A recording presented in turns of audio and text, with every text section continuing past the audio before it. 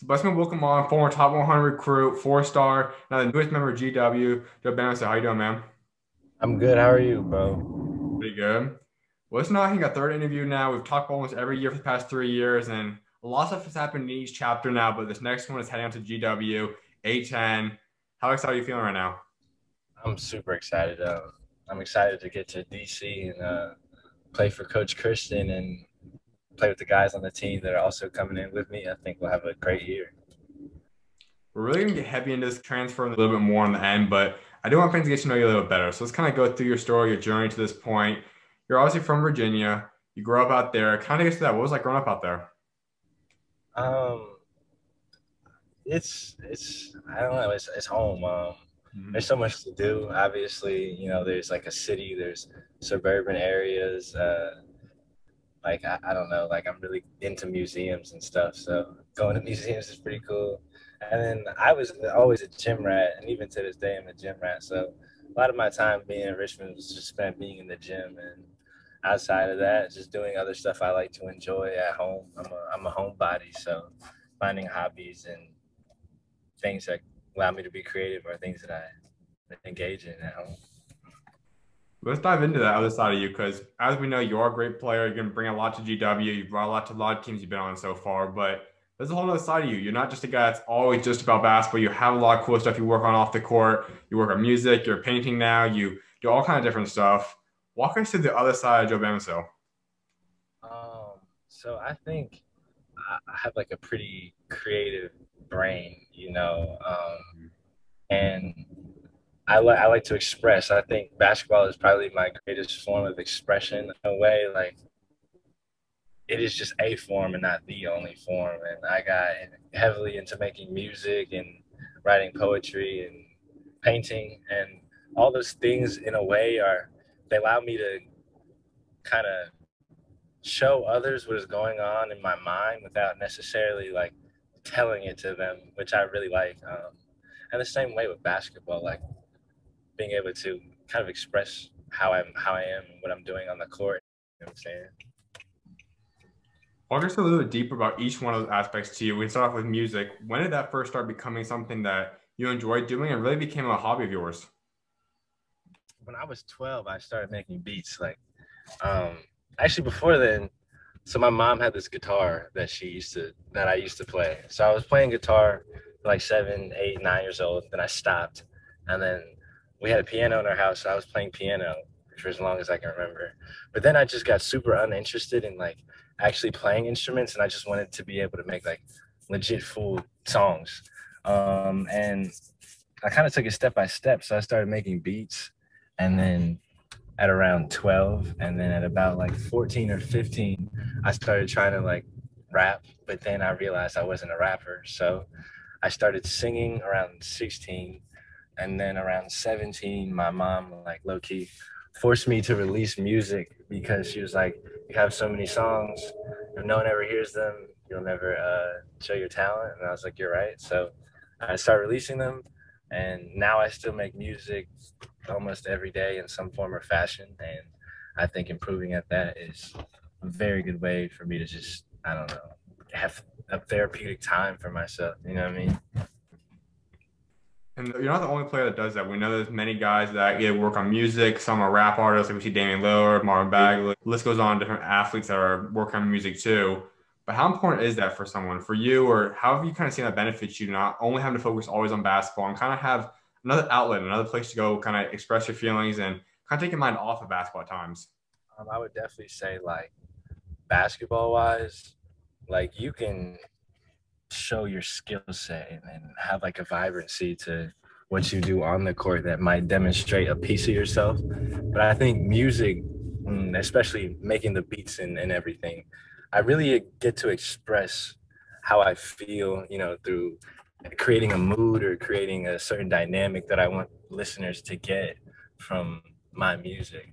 And also from a lyrical perspective, like getting people to feel what I'm feeling, like through words, I think is important. And having the ability to do that, um, I think is, like I said earlier, it's been very therapeutic and um, helps get things off my mind sometimes, helps me to think things through, you know, from an alternate perspective. So Yeah, I would say it's super important, and I think any anyone should find the time to be creative in that regard to express themselves verbally or even musically, just to get the mood out of yourself and to others. Out of all the songs you have made it to this point in time, what would you say has been your favorite one? Favorite one is one releasing in two weeks. It's called Fly Wavy. Um, I think it'll be a really good song. I think uh, a lot of people will like it, and it's yet to be heard, but it'll be heard very soon. Absolutely, man. Well, you also just mentioned before we started this that you also get into painting as well now. Walk us through that and how you fell in love with that. Okay, so like kind of similar to music. Like one thing about music I really love that's not like anything else. When you're creating music, you can just stop whenever you want and you can come back to it. You can have new inspiration, you can have like new ideas. And so like randomly, I'm a pretty I wouldn't call myself spontaneous, but like I'm very much so like if something comes to mind, I'm like, all right, I'll try it. So I uh, did exactly that. I went to Michael's. I, I, purchased some watercolors and a paintbrush and started painting.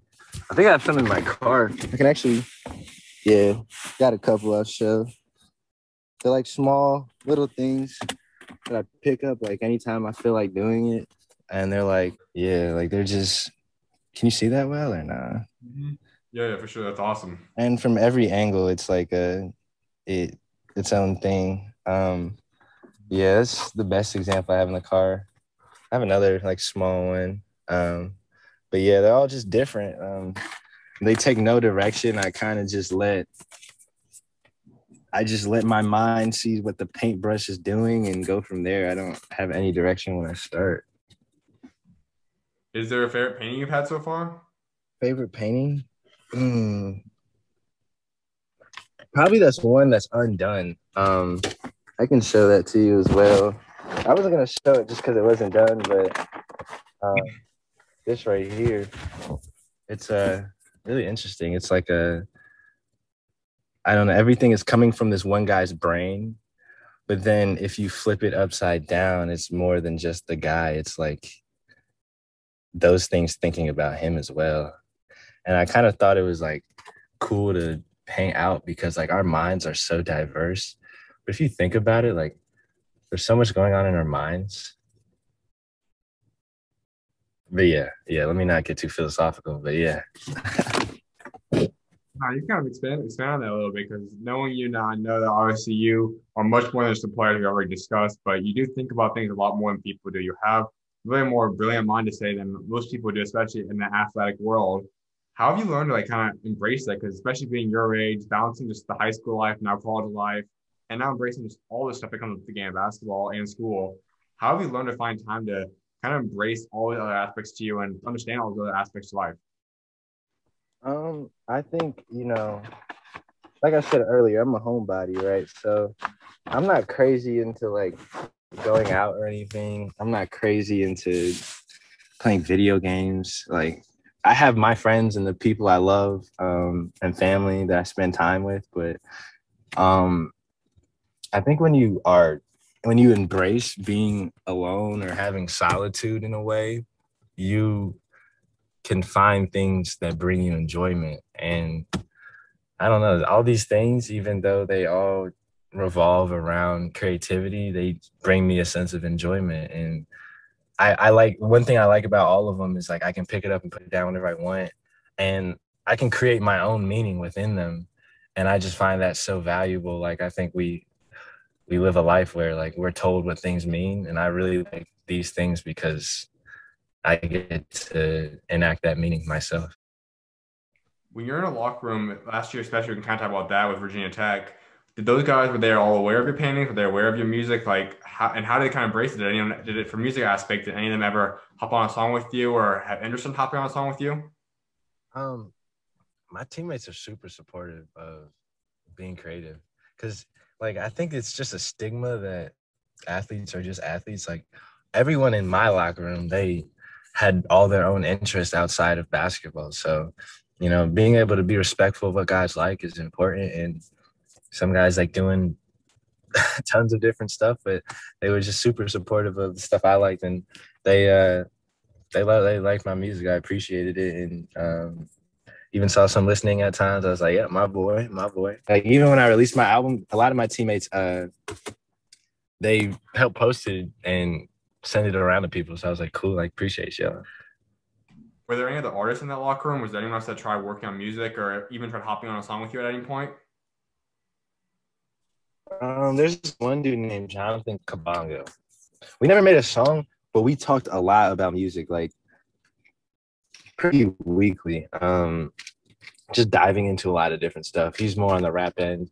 I'm more on like a singing indie pop end, but there's always somewhere in the middle to meet when it comes to music because it's such a diverse, unique thing. And we would talk a lot about stuff and never in terms of all right, let's make a song, but we'd send each other our music, give each other feedback, things like that. So yeah.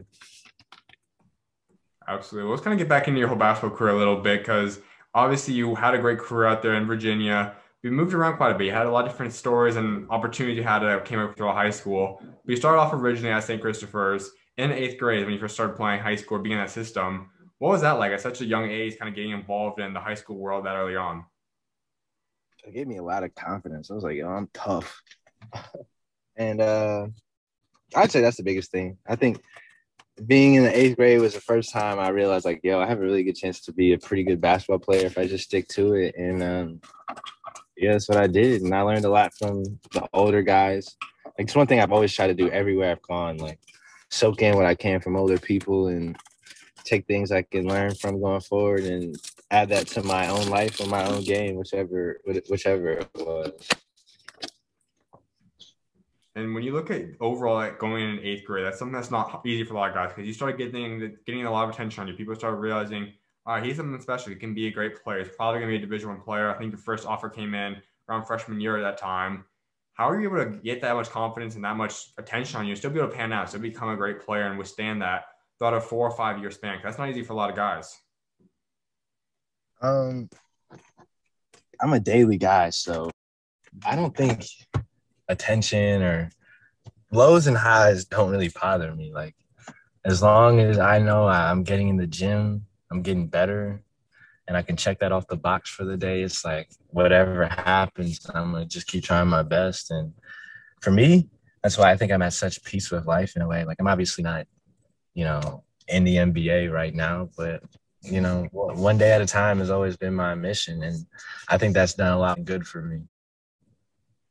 Then you hop into your freshman season, and now you're actually in high school. But for you, it is your second year of high school basketball. What was that year like? You guys ended going 2011, but walk us that year a little bit.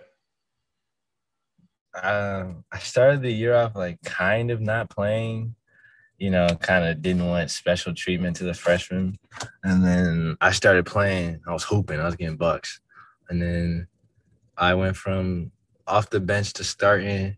And when I started starting, I was averaging like 10, 11 points. And then the last four or five games this season, I had anywhere between like 18 and 25, like a few times. So that gave me even more confidence. Like, wow, like I'm 14, really killing folks. And then, um, yeah, that was that was that. You then get an opportunity that comes across your table, and that is to go to Montverde. We already know how special they are. They're one of, if not the best prep organizations and programs you could possibly attend to go to you know, transferring out there and then for your sophomore year. Walk us through. Like, how did that opportunity come to you? Like, how did it all get set up for you? My uh, trainer knows is friends with one of the coaches there, and they uh, got in contact with each other and saw how well I was doing, and had a conversation with my parents, and it just worked out that I could go there my sophomore year. Um, unfortunately, I obviously didn't get to play because I got injured, but I still learned a lot basketball wise. And I think that's just the most important thing. Like that year was a big year of learning and big year of just getting better mentally at basketball. That's special too, because as you said, injuries are something that obviously no player wants to go through. You want to be on the court playing. But as you said, there is times where you can learn stuff. You can improve your IQ of the game. You can learn to better yourself on the court, kind of get a coaching aspect to a degree. How much does that help you? Because that wasn't your only big injury. You missed your senior year down the road too. But how, when you have an injury, do you take advantage of that and kind of learn other parts to your game? How did that help benefit that?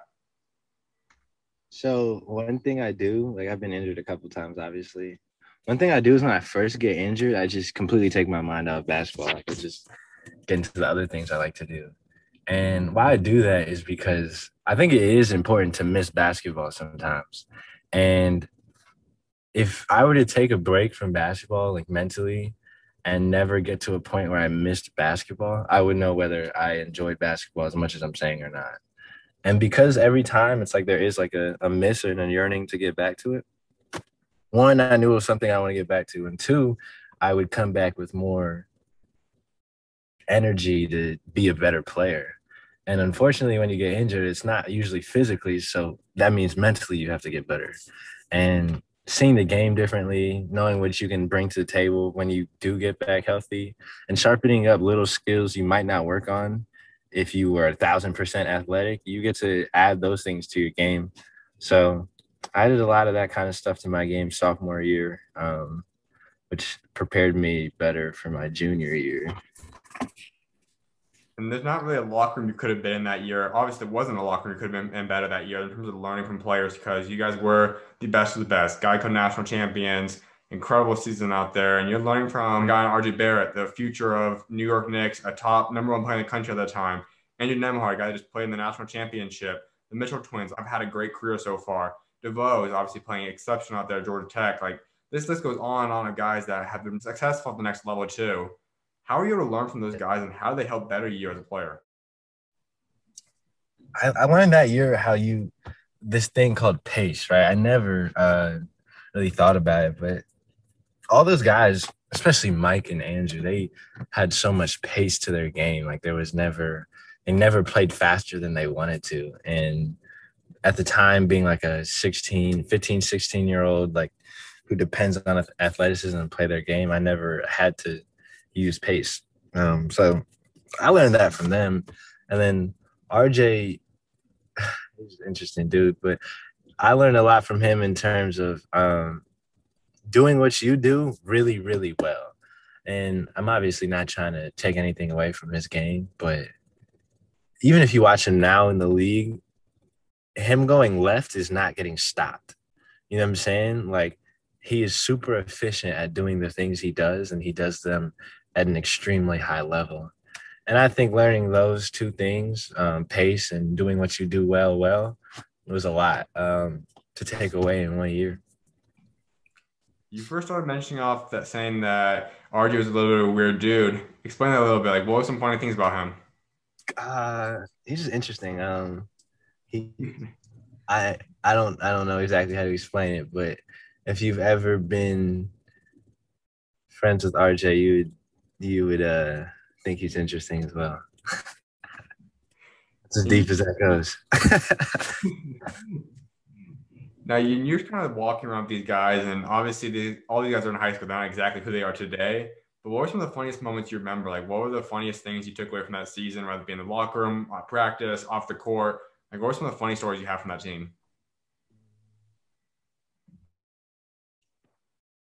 I mean, a couple of these stories I, I don't think I should share, but um, off the court, maybe I had government class with uh Andrew, and Andrew might be like one of the funniest people you might ever meet. Like he's just a really good storyteller.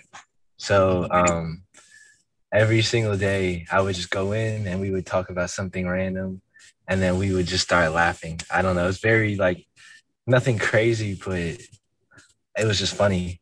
And then the next semester, my government block switched to a class called World History, and Mike DeVoe was in that class instead of Andrew now.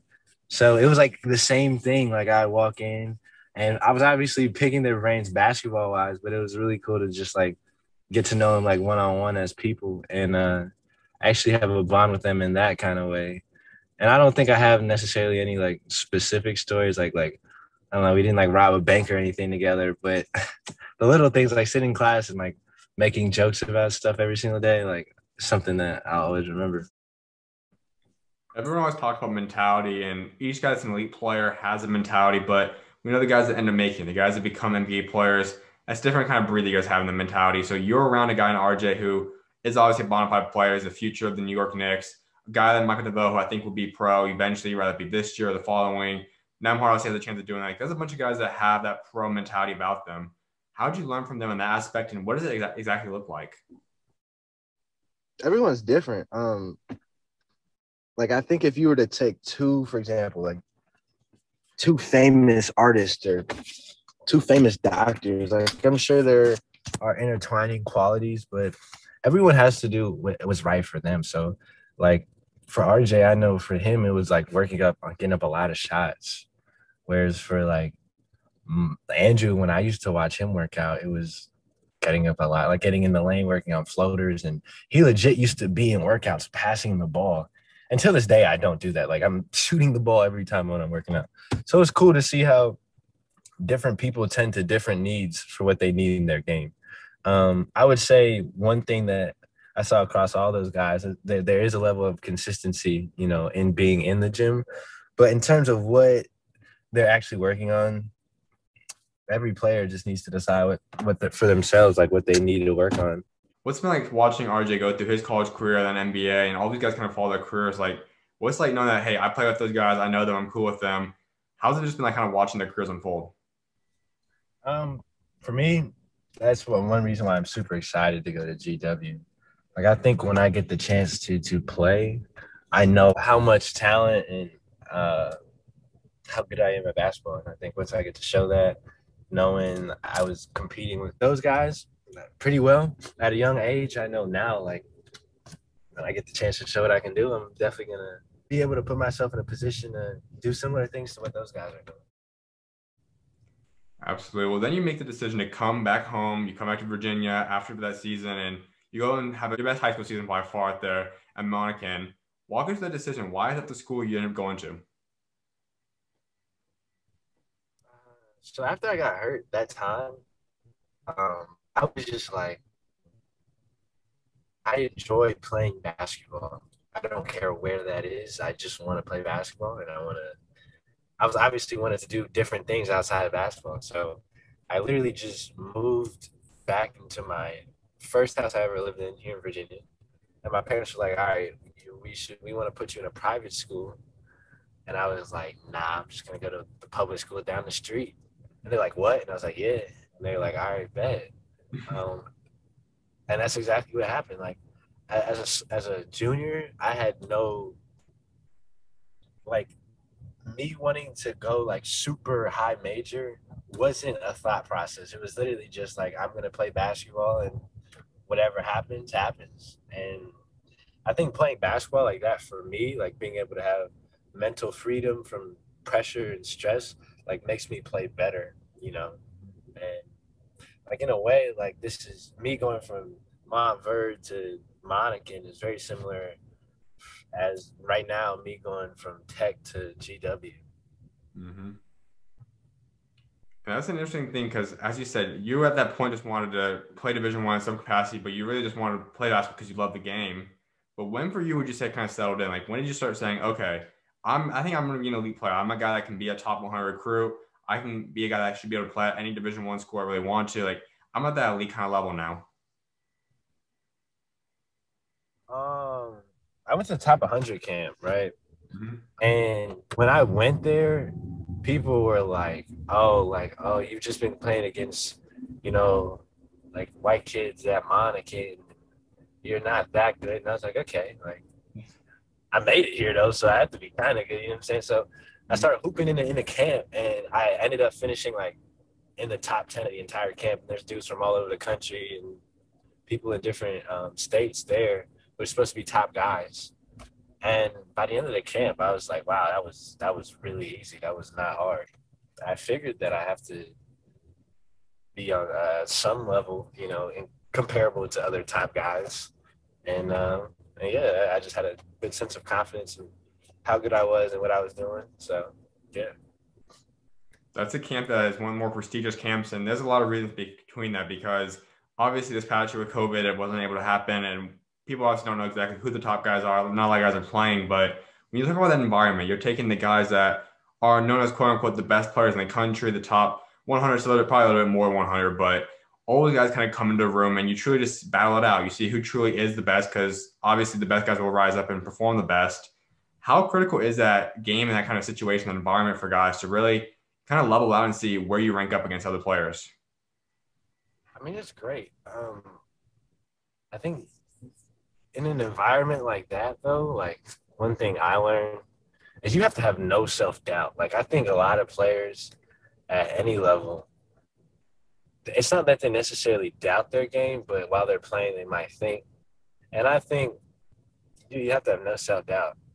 Mm-hmm. And to do that, you also kind of need to be in a situation where the coach has a lot of belief in you, you know. And I think for me, like I from then on, I've had no self doubt in my game with wherever I've been or whatever I'm doing. So I've uh, continued that now and seen a lot of benefits from it. At the end of the day, as long as you're doing what you need to do confidently and it's productive, it, no one can say anything to you. That's a lot easier to say than do because we know that for someone to be able to go out there and go through ups and downs of the basketball court, it's not always going to be a perfect game. We all know that's not something you can't go 100% shooting. You're going to have off nights or whatnot. How do you always keep your confidence high though? How do you always keep your mindset high and not allow yourself to doubt yourself? But like, what does it take for that mentality to get into you, and what does that look like? Um, you know, you have to be super. uh You got to be in the gym. You know, that's that's it. Like that's what it is for me. Um, like I know I get up X amount of shots. I know I work on my game X amount of days of the week.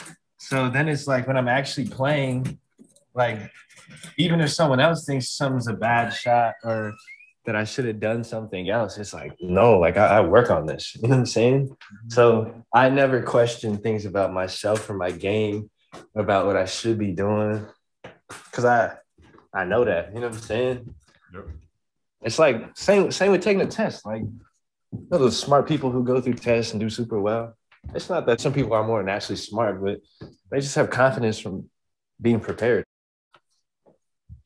I agree more. And after that season, your breakout year, and you have 29 points per game, seven rebounds, two assists, two steals, really emerge as a top 100 type of guy. When then you make a decision, the recruiting starts narrowing down for you, and come April, you decide to commit to Northwestern originally. Walk was that decision. Why is it the school you originally chose to go to? Um, I, I had a really good uh, official visit to Northwestern, like really good.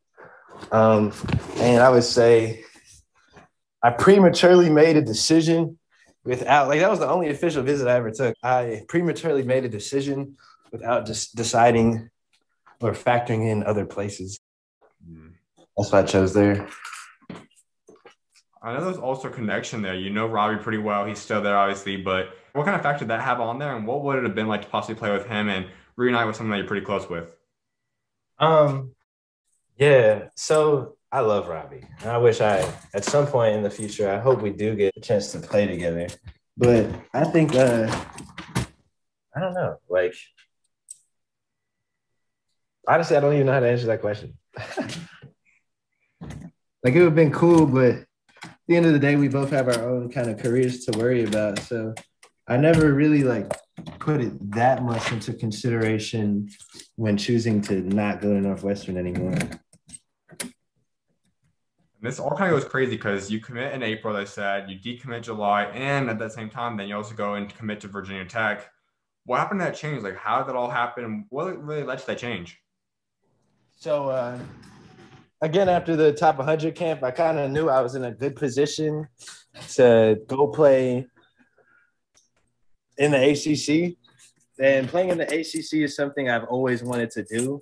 So, you know, it was closer to home, which I wanted to give my parents a chance to still watch me play after all the sacrifices they've made for me in my life. Um, and Virginia Tech was that place. Um, communicated with Coach Young and Webby, and at the time it sounded like a really good place I'd fit into. And went on an official there. It went really well and yeah, that's all. That's how that was. That obviously led to your senior year then, and then you end up having to miss that year again. You have a little minor knee procedure that knocks you out for the senior year. How'd that all go down? And just walk us through that injury. Um, that injury wasn't that bad. It was simply me trying to um just be prepared for college physically. And I knew that I would be if I played high school as a senior, I knew a thousand percent I'd probably average like 35. And I was more concerned about at the time being prepared for playing college basketball physically and mentally than I was um what's it called? Uh than I was about I don't know, gloating against other kids, you know what I'm saying? Like I don't really see what I would get out of playing my senior year knowing that I could just fix what's wrong with me or what was bothering me and then getting the time to put myself on a college schedule like I was I was taking online classes as a senior so I, I had like similar lifting times every single day and had a workout schedule with my basketball trainer every single day. I just thought that was much more impactful for me long term. And rightfully so when I got to college, like mentally I was completely ready to go. Like in terms of all the things we had to do school wise, basketball wise, and lift wise, obligationally. I was ready to go with that kind of stuff. And on the court in practice, pretty almost every day, I was doing really well. So I'm uh I would not go back in time and change that. When you did ultimately choose Virginia Tech as you as a school you were going to go to, was there a number two option? Like, was there someone else that you were really still loving or you really wanted to possibly look at if Virginia Tech wasn't an option? Like, was there a number two pick for you?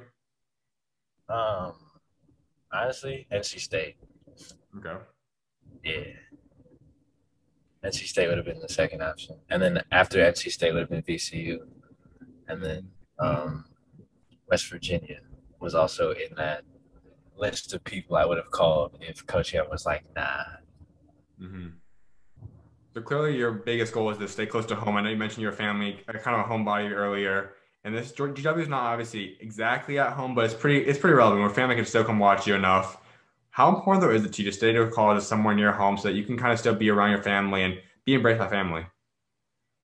No, back then it was super important. Right now, DC just happens to be where I think happens to be the best basketball fit. Like okay. if if if Coach Christian was coaching at like in a school in California, I would go play in California. Um, I just think this is the best basketball decision I can make. Something I know is challenging for some guys because especially seniors, juniors, whenever you go into that process, a couple things guys that automatically come to mind is maybe I want to stay close to home and I don't want to look at other schools further away from home. Or another one is I want to go to the high major. I want to go to the biggest offer I have. I want to go there. That's kind of my dream. But if you look now look at GWFC, obviously isn't quote unquote a power six school, whatnot. They're still a great mid major school, pretty much almost a high major. But how important is it to you find the best fit as opposed to overall images, looking, and this overall just a preference? It's in, it's incredibly hard because when you're a senior, junior, you're not watching a college basketball game and asking yourself, does the way they play fit my style of play? Yeah. You're not asking yourself like, is this coach a player's coach or is he a coach's coach? You're not asking yourself anything like that. And I, you're not you're not looking down the roster and thinking how many sophomores or freshmen do they have on the team that next year will be juniors and, and, and sophomores when I get there. Like I didn't think of any of that when I was a um, a senior or junior in high school. I was primarily thinking of what coaches do I connect with and what atmosphere feels the best in terms of being at the actual school. And you know you kind of have this unquestioning self-belief that like okay no matter where i go i'll be good enough to show that i'm the best which is just not always the case unfortunately depending on who's your coach and what kinds of players are already there. So like making this decision was 10 times more easy than um, making a decision when I was a senior. Because now, when a school called me, I could ask all those questions and find things out myself. And by the end of the call, I knew, like, all right, I'm not going there. You know what I'm saying? Whereas, like, in high school, it's like every call was like, ooh, I can see myself there. You know what I'm saying? So let's kind of walk through this year now. You go into your freshman season and you haven't got experience a true college season when there's fans without the COVID restrictions. So you didn't necessarily have the hard adjustment in terms of that. We're used to something else and it changes for you. But nothing less, it still was a challenging, difficult year. You're wearing your mask nonstop, waking up early, get your COVID test each day, all the restrictions in the locker room, like all that stuff's going on for you still. What was this year like in terms of COVID? How did it impact you? What was this COVID season like for you? So since I'm a freshman and this is the only year of college basketball I've played, I like can't compare it to like a year of no restrictions. So for me, that's just college basketball. Like unfortunately, like getting something up your nose frequently isn't the best. But outside of that, like I wouldn't I have nothing to compare it to, so I can't ask to replace this season. You know what I mean? Like I enjoyed every every second of the season. Now I do know you guys were affected pretty harshly by that. You guys were having an incredible season. Could have probably been a more top five looking seed for a little bit there, and really we were looking special on a great run. Then COVID hit you guys. One of the harder times and had the longest extension time out. I think it was 17 days or so. You guys missed a bunch of games. Obviously, it affects you guys in the tournaments. How did it affect you the team though? Because we all know it's difficult. You take any time off in basketball midseason, getting all the chemistry back, getting back in shape is not easy. How do you see that affect the team as a whole during when you guys had to deal with the whole pandemic?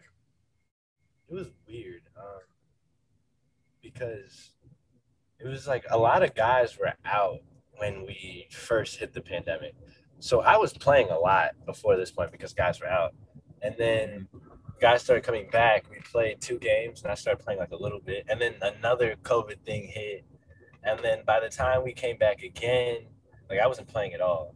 So from like a individual standpoint, the COVID hits were like really weird for me because there was no like sustainability with my role and then from a mm-hmm. team aspect, it's like it's crushing to go from like winning a game to all right, you can't even participate in anything for a couple days, and then you can't play in a game for a couple weeks. You know, like you obviously still stay energized, but there's something about playing in a game that's completely different than practicing, and you can't. You can try your best to replicate it, but it's just not the same.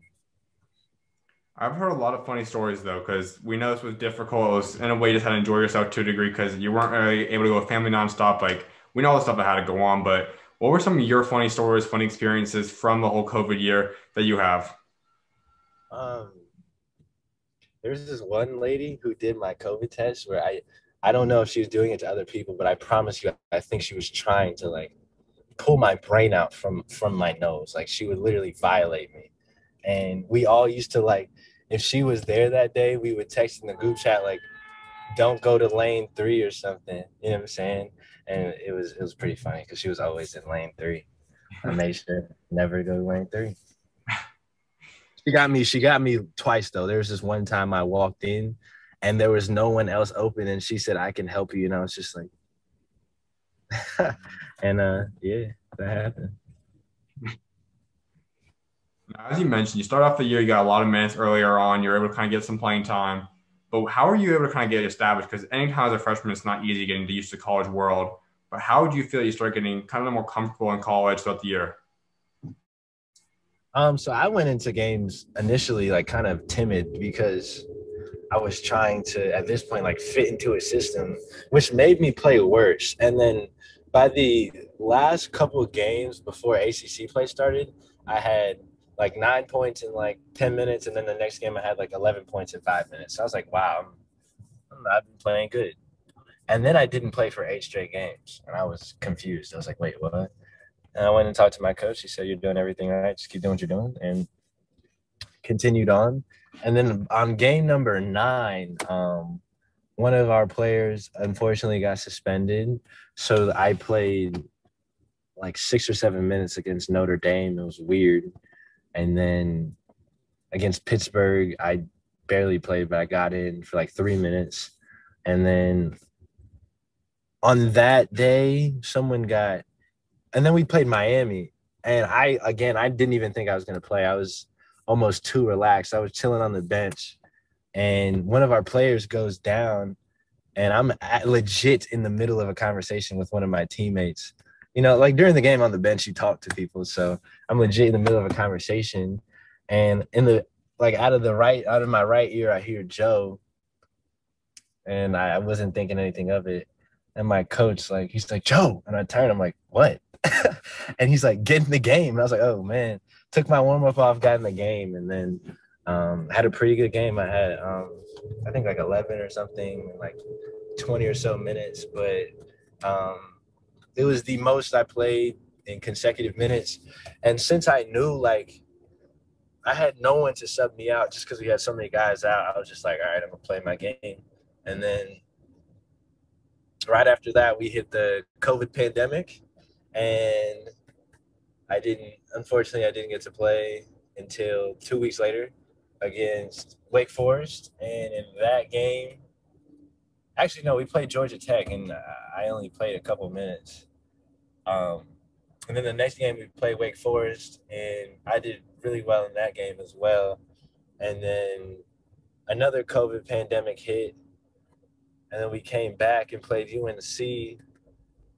And against UNC, I, I played like four minutes or something, and then went back home and we saw we were going to play Florida, and then I didn't get to play against Florida. But yeah, for me, like this entire year, practice was like March Madness for me. Like I was going stupid hard in practice every single day, and I think if that's the one thing I got to, well, there's obviously a ton of other things I got to take away, but if that's a thing I got to take away from this year, that's I think a great thing to take away. Like how important just going hard in practice is, and I hope to bring that to GW when I get there, like a good culture of practicing. This is something that I haven't ever heard a player do so far. And you played in 13 games this past year. I think you just walked through every single one of them in order against the team. We're going to touch up on some of those games originally, but how are you able to do that? Like you look through and just memorize each game, just about how many minutes you played, what you scored. How are you able to kind of memorize basically your entire freshman season? Um, I don't know. Like nothing. All of those games and stuff feel like a like a long time ago, but like, um, like I, I guess I, I, write in a book every single day. Like I journal every single day. Okay. So it, it's nothing for me to like recall past events sometimes because I actually take the time to reflect on most days. So um, that makes it really easy to reflect on a day I've already reflected about, if that makes sense. Mm-hmm. You guys had a special team as well, and there's some guys in that roster I want to touch up on a little bit. One of which obviously is your main guy this past year. He led you guys in Keve throughout the entire course of the year. Incredible player. I think he's going to go up for player of the year next year. What was like just learning from him, and how special was he? Uh, honestly, that's an interesting question. Um, I don't know. I I would say like I'm not not close with Keve, but mm-hmm. like I've never been in the gym with him like working out except a couple times to get up shots. So I never really got to see that specifically. Mm-hmm. Um, like we just individually doing our own thing. We never cross paths, but like on the court, like in practice, he's a he's a really uh he's a competitor. Like in practice, he wants to win everything, no matter what drill it is, whether it's a three on three, a five on five, one on one, like whether if it's a defensive drill or get up shots, like he he gets like le- legitimately angry if he doesn't win. So I think it was really cool to see how much he just loves winning. Um, like a lot of even if even if he was playing three on three and that meant setting a bunch of screens, as long as his team won, he never complained about him being the leading scorer or you know him wanting to impact more. Like like obviously there are times where he had to step up and you know be the main offensive guy, but and I thought it was really cool to always see how that came from a place of wanting to win and not from a place of like selfishness. But um, outside of that, though, like he's a really humble dude. Um, like you never see him gloating about himself or things like that. And I know whenever anyone else did well, he was the first to repost it or say something about it on social media. So yeah, he he's a, in, in terms of that kind of stuff, he's cool. But in terms of like one-on-one things I learned from him and like like the weight room or on the court, like unfortunately, just with the way our schedules work, we didn't really get to always see each other mm-hmm. doing individual things. If that makes sense. Gotcha. I got to give you props on one thing too, because watching a lot of Virginia Tech games, one thing you realize about yourself is clearly, I mean, it wasn't the ideal situation. You would have rather been playing a lot more minutes than a heavy rotational piece for the team. But every single game you still kept your mindset high. You still kept continuing to be a positive energy on the bench. You always were dancing, always were celebrating, having fun. Even though probably uh, in the inside your mind, probably like, okay, this is I'd rather be in the game right now. But you never really showed that. You always showed that you're excited, a part of that team. How are you able to maintain that? Why why were you able to decide to be positive even though it wasn't the ideal situation for you? So I am a super reflective person. Um, especially in the moment. Like now I can sit there and say like, no, I should have been playing in my opinion. But in the moment, I always was like, there is something I could be doing better that's causing me not to play, which made me work out more, which made me get up shots more, which made me do all these extra things more. So then when I wasn't playing, it was like, all right, no, I still need to get better.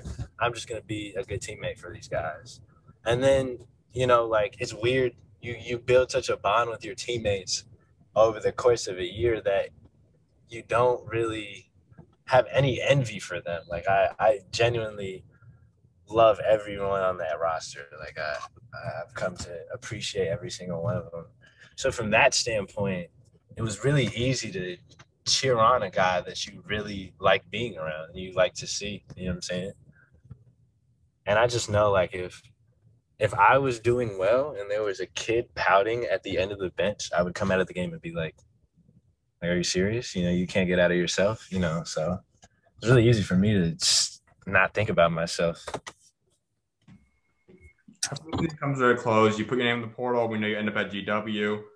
What went into that decision? Why you decided the portal is the best option you want to transfer out? And also, GW is where you're going, but was there another school you're heavily looking at or you're heavily interested in? Yeah, there's like a list in like a couple of hours. I think like 10 schools hit me. And then within like a couple of days, it was like almost 30 schools. And I was like, wow, this is a lot. And one thing I didn't want to do that I did last time is like overthink anything. You know what I'm saying? So GW was a good fit and they answered a lot of the questions I had that other schools couldn't answer per se. Um, so I didn't waste any time shooting GW.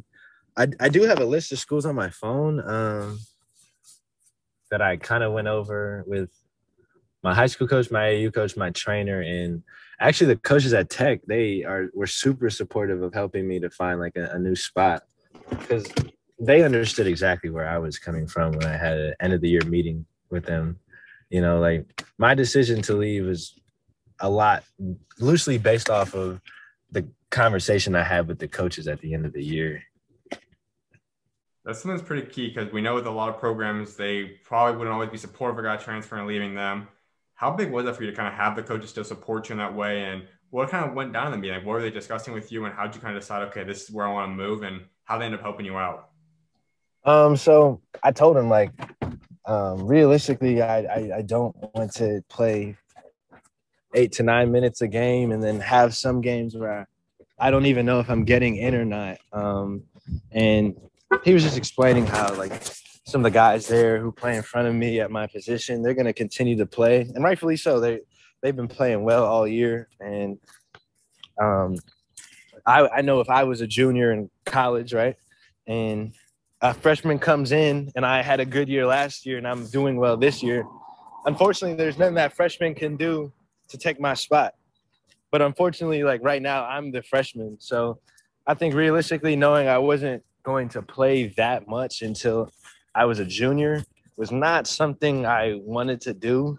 Um, at the end of the day, like I don't put in all this work and do all the things I'm doing to I don't want to say be a role guy, but to not, you know, get the chance to show that. You know what I'm saying? Like I don't necessarily care if I am a role guy, but I don't want to be in a position where I go for not playing eight games in a row. You know what I'm saying? Like that's not something I enjoy.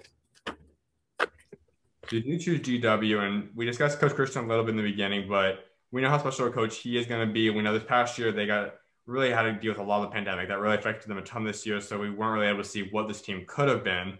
But overall, in your conversation with Coach Christian, you've talked about how special he is. But go a little bit deeper in that. Like, what is Coach Christian like on off the court? What's his personality like? He's a very vibrant dude. He might have some of the most energy you've ever seen. Um, and I think he's a good coach. When he was at Mount St. Mary's, he won. When he was at Siena, he won. And I think genuinely he wants to take GW as far as possible. And right now, you know, we got Ira Lee, dude named Adam something. I forget his name. He's from uh, UConn. Uh, me from Tech. James Bishop already there. LSU and this other guy from Maryland who also came last year. We got five, four or five dudes who are Power Five talent, all in the A10. So I think with him having the ability to coach all those guys, you know, at that spot, will be a really good team.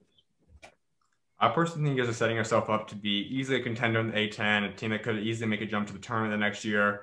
Look at this roster up and down. You say James Bishop, someone I'm very high. I think he's going to be a special point guard. You're going to add yourself in there. Brendan's coming in from UConn. You know, Ira Lee coming from Arizona, who we knew formerly was a top 50 recruit before his whole Arizona career. I said a lot of the pieces on this team too, but how special can you guys be? What can this team get done in the A10 and but also just nationally? A lot. I think we can accomplish a lot. Like I think this team will be really good, and I think when we all get the chance to just be in the gym, it'll be perfect. Have you got to know any of these guys yet? Have you had a conversation with any of the transfers? Anyone's on the roster right now? Nah, I have not. I've texted James a couple times, but that's it. I have not met anyone formally. When you kind of plan to get on campus, is there a time you set up for that, or when you kind of plan to get to with the team and start working this thing out? I think June. I'll be there in June. No doubt. Well, a couple things before I let you go. One was discussing something you have on your Twitter and Instagram. You have fine silence. What does that mean to you? oh, the fine silence is because I meditate. So I think it's really important that at all times, no matter how much thing, how whatever what's going on around you or whatever what's going on in life, like mm-hmm. it's there's always time for peace and tranquility, and I don't think we should ever get away from that. Couldn't agree more, man. Well, as you know, I was like wrapping up discussing your legacy, and we now know your next chapter is at GW. So, what do you want your legacy to be there? When the time you walk from this career, what do you want to be remembered for for what you achieve both on and off the court out there in DC? Yeah, I, I have no idea to be honest. I I, I am such an unfuturistic thinker. Um, I hope off the court, I am like no matter who I meet, whether it's I don't know, like a random kid in one of my classes or like a a six year old at Chipotle. I hope I can, you know, somehow impact people positively. Like, oh, someone smiled at me today, and they don't even know who I am. Um, that goes for everywhere, not just DW, just in general. Basketball wise, um, I have no clue. I don't. I set goals, but they're more daily goals. I have no like long term goals. So unfortunately, I can't answer your question in the way you're thinking. Probably. My final thing for you then: What's the three biggest goals you have set for GW? biggest goal number one is to bring a culture to practice every day that'll make us better. Mm-hmm. Goal number two would be to individually work on my game every single day. And goal number three would be to um, have one interesting conversation a day with one of my teammates. That's awesome, Mill. Congratulations once again, the transfer, and appreciate taking time to come on today. And look forward to seeing what I got next for you, man. Thank you, bro. I appreciate you. Of course, welcome on, man. God bless. You too, man.